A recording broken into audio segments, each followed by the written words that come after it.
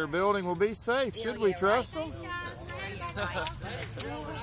Georgia Power is in a cold war with the farmers, you know, the agriculture. Everybody's battling over what little bit of water we have left.